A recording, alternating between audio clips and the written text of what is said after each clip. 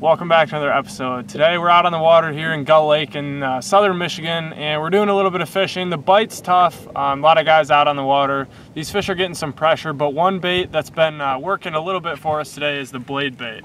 So yeah, I've been throwing this blade bait around basically for the last month exclusively here since ice has gone off. It's a fantastic bait um, for any of you northern anglers who get really cold winters and then it's a great bait to pick up right when that ice comes off. It's great just because it's a subtle presentation that these fish can uh, key in on and you can keep it right in the strike zone there at the bottom, like foot or two of the lake and just pop it real slowly. And um, as you pop it, it just gives off vibrations. It vibrates up and then you yo-yo it back down and you're just basically just popping it all along the bottom and just fishing it real slow. And uh, it's more of a reaction strike than anything. I think just that little blade just vibrating up right in the fish's face. And uh, yeah, it gets bit better than anything else I've come across for sure. This is a great bait to locate these fish also because you can uh, work it pretty fast compared to other baits this time of year. You don't have to just crawl a Ned rig on the bottom.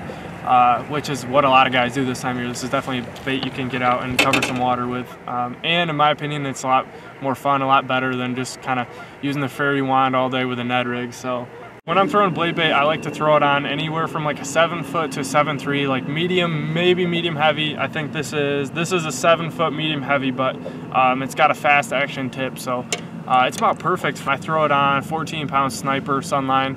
Uh, that's just what I roll. In clear water, you can probably get away with 10 or 12, but I, I just like to have a little bit thicker line because lots of times you're bumping it along the bottom and rocks or shell beds or occasionally some logs or something. So if you do get snagged, you have a better chance of popping it out. So um, the areas I'm targeting when I'm throwing this blade bait is anywhere from honestly 20 to like 45 feet this time of year. When these bass get cold, they go out deep here in Michigan, and so that's what we've been targeting. Any flats or points or humps, really anything that these fish are just gonna hold to any piece of structure you can get a blade bait down in throw this thing as close to it as possible it does tend to pop out of like snags and stuff pretty well so that's a good benefit of it so the times I like to throw blade baits are uh, basically all of March here in Michigan when the water temps are anywhere from like high 30s to mid uh, 40s. Right now the water temp here on this lake is 40 between 42 and 43 and it's working great. Um, it's worked great on a bunch of different lakes here in the last month like I said. Um, my favorite colors to throw are AYU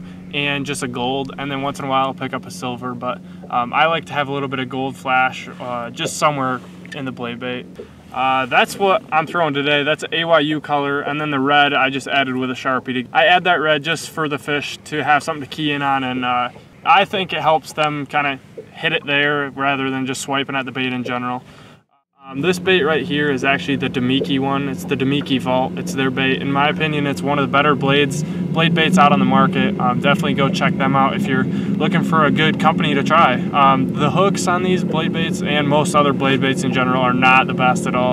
I definitely sharpen or think about replacing them just because the hookup ratio, as you guys can tell from uh, other blade bait videos I've had, are not very great. Uh, lots of times a fish will swing at it and you'll miss them two or three times before you actually hook them up. So definitely sharpen them up or switch them out and that'll definitely help increase your chance of hookup. So I typically run the half ounce uh, Damiki Vault. That's just my favorite. Um, and that way too, you can cover a lot of water. It sinks quick. You can fish those deep, like 20 to 50 foot uh, areas without having to waste too much time sitting there letting it sink. So I'm gonna show you guys a little bit how I like to work it and the technique behind it. So let's get into it.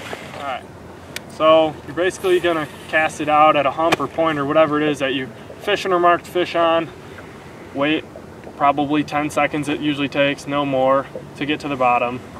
Make sure it's on the bottom, that's very key because these fish are holding tight to structure this time of year. So then once it's down to the bottom, I just like to kind of hold my rod tip up and just, honestly, that's all it is to it. You just give it probably, I lift it up a foot. It's not, it's not a quick jerk, you're just lifting it up and then you're stopping it basically right when you feel the first couple vibrations. You're not like ripping it high or like you're not ripping it like you might a lipless. Wait a second or two in between it, and this is all there is to it. And it gets bit. I'll roll in some clips of some of the fish I've caught. I've probably caught 50 to 100 fish just in the last week exclusively on the blade bait. So, yeah, guys, honestly, it's a really simple bait to throw. It's fun. It's a lot more fun than a Ned rig or something else slow you got to throw this time of year. So, for sure, go check it out. Try Damiki Vaults. That's a really good blade bait. Uh, just the only thing I would, again, recommend is uh, sharpening or replacing the hooks because that'll get you a lot better hookup ratio and hopefully, hopefully it will help you catch a lot of fish. So thank you guys so much for watching. If you enjoyed, like, comment, subscribe.